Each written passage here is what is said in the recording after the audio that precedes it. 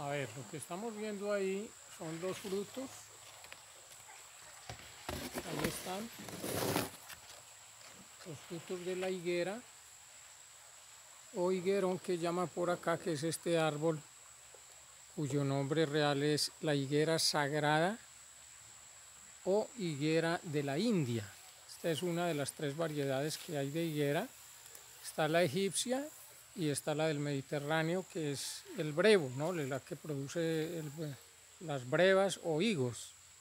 Esos fruticos que vemos van a crecer y se van a conformar como higos también, como, bueno, como brevas.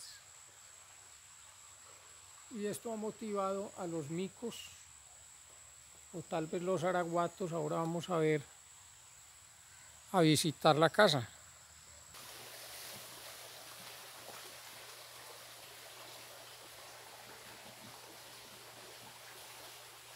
Mire, son los monos araguatos.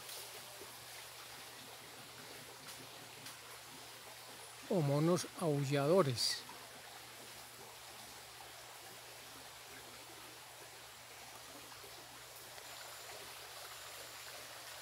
Ahí está un mono araguato o aullador, son estos animalitos quienes hacen, quienes rugen durísimo en las mañanas escuchan a kilómetros de distancia.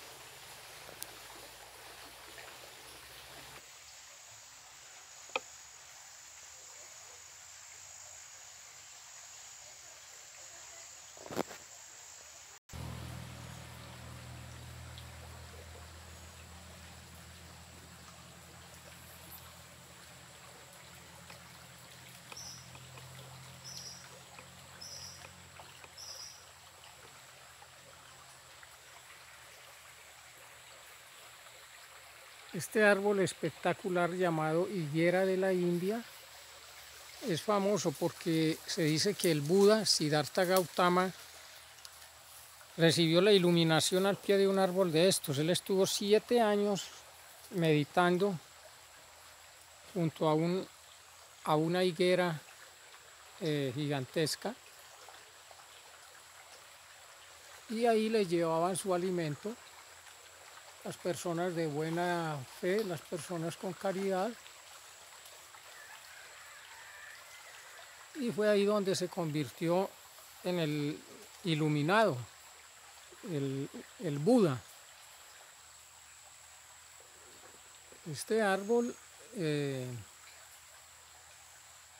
pues, tiene, repito, tres variedades. Hay tres variedades de higuera se dice que la variedad egipcia, que es el sicomoro, es otra higuera de esta misma familia, eh, al frotar dos eh, ramas secas del árbol se produce yesca, o sea, se, genera fuego. Seguramente tiene mucho fósforo o, o algo otro mineral que hace que se dé ese fenómeno. Tiene características muy curiosas eh, este árbol. Yo ya hice un video sobre las higueras, pero quiero recordar aquí que este árbol no da flor. La flor está dentro del fruto.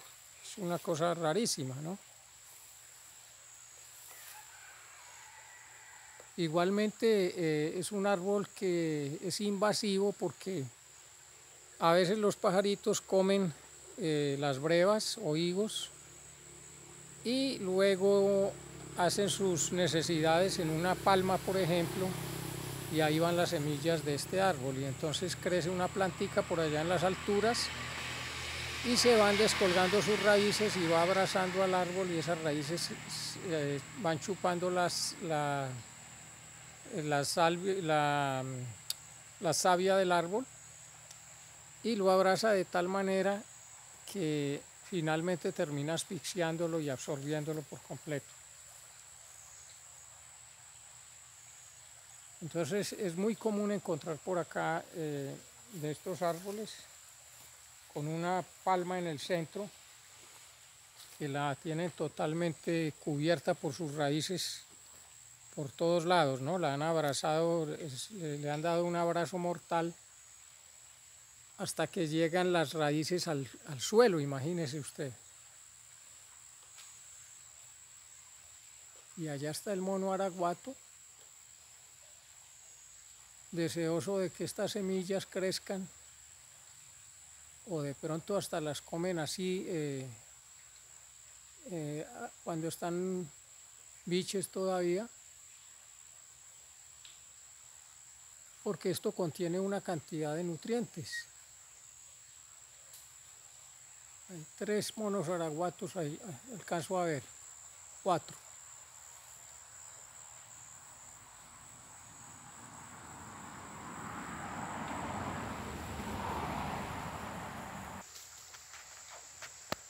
Sí, efectivamente ahí se están comiendo las semillitas. Están dando un manjar. Otra cuestión curiosa de este árbol es que periódicamente pierde todas sus hojas y luego las vuelve a recuperar. La, vez pasada que, que botó todas sus hojas se formó un tapete prácticamente hermoso. Todo este espacio quedó cubierto de hojas.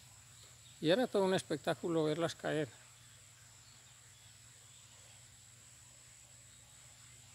Es un árbol lechoso. Si usted lo corta, el tallo produce una leche que se usa para matar parásitos intestinales y para cicatrizar también.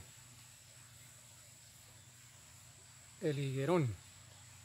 Bueno, muy bien. Recuerda que esto es salud, dinero y amor. Despertar para valientes. El higuerón.